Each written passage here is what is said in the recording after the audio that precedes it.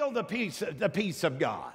Standing in a, in a stairwell at the shepherd's uh, home in downtown Atlanta, Jesus was in that stairwell with Betty. And the Lord's been with them all these years. See, when everything's going good, it's easy for me to brag on God.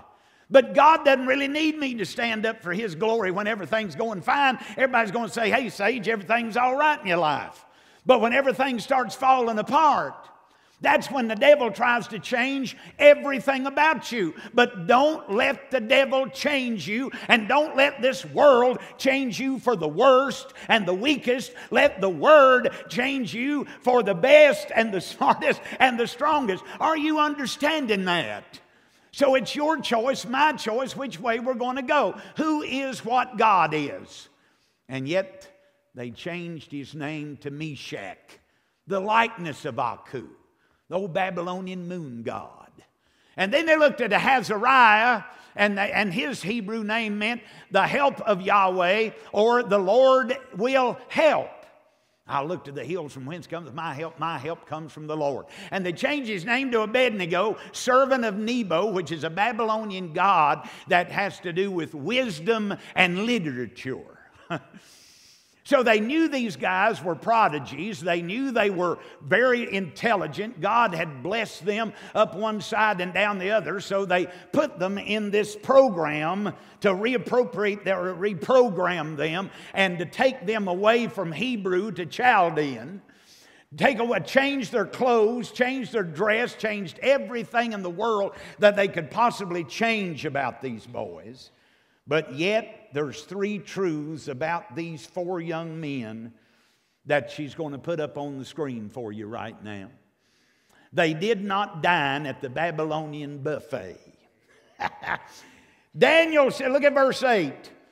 Daniel purposed in his heart that he would not defile himself with the portion of the king's meat, nor with the wine and they proposed a 10 day thing. You just give us four vegetables and the purest water you can, and let every, all these other prodigies and all these other reappropriated people that you're trying to make government officials and give big uh, jobs and all. You know, look, you might have burned God's house down in Jerusalem, but you didn't burn God. You didn't get a, you didn't do away with God. He's still God. We're still going to pray. We're still going to believe Him. We are still the people of God, every bit as so as we were in Jerusalem Jerusalem, here in Babylonia, we are still the people of God and we are not going to dine at that Babylonian buffet. And look, after 10 days, their countenance appeared. I love this, underline it in your Bible. Verse 15, Daniel 1 they were fairer and fatter than all the rest of them.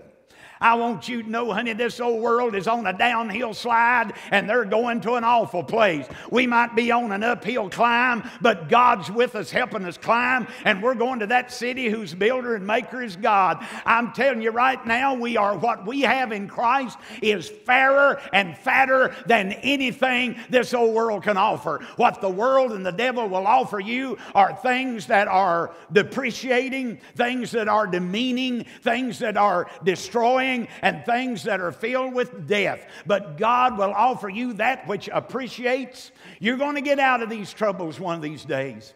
Betty, I promise you, and Danielle, your dad, one of these days, he will have glorified legs running up and down the golden thoroughfares of that city. We're on our way to a better place. And on this journey, we can be personal representatives and ambassadors of God no matter where we are. If it's singing at the temple in Jerusalem, the house of David and Solomon, but one of these days things are going to change. And we may not be so happy in this world world because this world can get hostile and change without notice. One phone call, you'll never be the same. One event, you'll never be the same. This world is fickle, it's uncertain, it's unsure, but the Word of God remains sure no matter what we face. And let the aging process go ahead and get a hold of me. At least I've made it to 65. I've buried thousands of people through the years that never made it to 50. I've buried a bunch of them and didn't even make it to 10. I've buried a whole bunch of them that I had to carry the little casket in my hand and lead the little broken-hearted young mother and daddy to the graveside. Death is certain and common and cruel, but 2,000 years ago, death got conquered. And one of these days, death's going to have to let loose of all of us,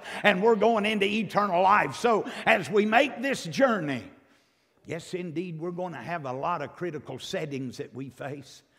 And these young men, 16 years old, you talk about a critical setting. But they looked at that meat, Ronnie, on that plate, and they said, mm can't do that. They looked at all that intoxicating wine. They said, we can't do that. To everybody in here, whether we're young or old, the devil in this world will set a buffet out here and it may smell good and look wondrous, but don't you dare stick your legs under the devil's table. You stay faithful to God. Now look on over in chapter 3 and verse 12. Here's all these people. Let me tell you something, friend. This world not going to be your friend. The people of this world are not going to be your friend. They told Nebuchadnezzar, they said, look, and really in, in, in secular history, this particular Nebuchadnezzar, and there was different ones of them, the Assyrian Empire, Babylonian Empire, you history people know all about that. But this particular Nebuchadnezzar was the true first world emperor. This cat ruled it all. Now, some of the rest of them, even the Caesars of Rome, and even in the Medes and the Persians and the Greeks and all the rest. Nebuchadnezzar had a, at that time a worldwide empire. Somebody said, Who's your God? You, you need a, a central God, Nebuchadnezzar. You've taken over every country, you've overthrown everybody, even the God of David and Solomon. You ransacked his house, burned it to the ground, brought the descendants of David and Abraham and Isaac and Israel uh, into captivity. You need a God. He said, Well, and somebody said, Make yourself yourself a God. We'll make a big golden image of you and we'll put it up on the plains of Dura and we'll let all the VIPs in the government and everybody else come. We'll dedicate it and you'll be God. Boy, I'll tell you what, a lot of times, listen to this little thing right here. When you hear people wanting to save the world, mark her down. That's just a mask they want to control the world. We need some wisdom and cunning like Daniel and Hananiah and Mishael and Azariah had. And the world needs to know we're not Belteshazzar. We're not Shadrach, Meshach, and Abednego. That's not our name. We are Christians, birthed of the Word of God, sealed by the Spirit of God, headed home with God. And right now we're servants and soldiers and workers for God and with God in this old world. So they erected that big old image out there and they said, Now, when you hear the music, there's the band. Don't you dance to the Babylonian band. They didn't. They didn't dine at the Babylonian buffet. They didn't dance to the Babylonian band. When you hear all these instruments start up, everybody bowed down. But Shadrach, Meshach, and Abednego, that was their Chaldean names, they stood up. They might have had a Chaldean name, but they had a Hebrew heart. Well, glory to God, I might be in this old world, but I'm not of of this world. It's what Jesus said in the intercessory prayer of John 17, every one of us who are saved, yes, indeed, we're in this world, but yes, indeed, we are not of this world. So they stood right there, and sure as you're born, here goes the long tongues tied in the middle and loose at both ends. They run down there to the front. Oh, you got three, it didn't bow. Three didn't bow. I want you to know if they're talking about you, they're talking about me. And if they're talking about me, they're talking about you. Your hope's not in this world. Your real true friends are not in this world. Your real true friends are friends in the Word. And the best friend you'll ever have is Jesus. And whatever you do wrong, He'll talk good to you to His Father. He'll say, Listen, uh, I know Rao did this, or James did this, or whoever did this, but He'll say, Now, Father, you know I took care of that for them on the cross. I done paid for that. And if they'll just trust me, ain't it unusual that when people need the church the most, uh, that's when through the years historically we've thrown them out. Oh, they don't pay their bills on time. We'll throw them out. Well, you rascal, you, your credit score is probably lower than the one you're talking about.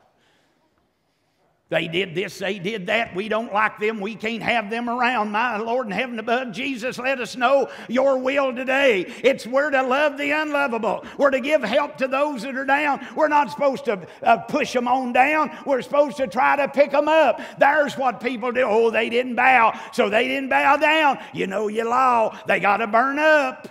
Now go back with me to chapter 1. These three Hananiah, Mishael, and Azariah, they were in this massive government program to be reprogrammed and retrained and then assimilated into this Babylonian government. And Nebuchadnezzar was giving them big jobs, important, powerful positions.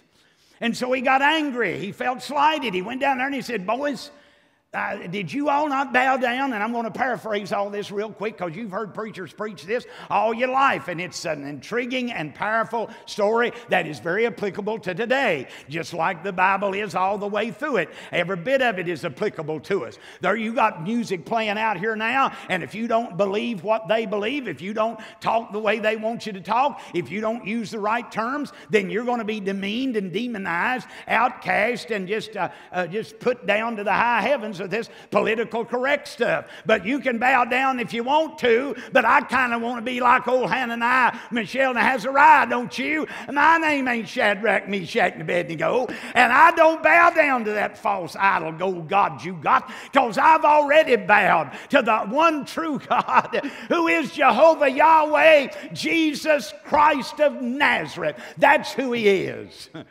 Same God now as He always will be the same yesterday, today, and forever. And so Nebuchadnezzar, I know, I, I promise you this. He said, Boys, I've been good to you. Look what I'm doing for you. And now you all are embarrassing me here. Now I'm telling you, the law's done been said. If you don't bow down, you're going to burn up. This is an intimidation tactic. I know that. You all know that. But boys, that fire's real. You're going to burn up.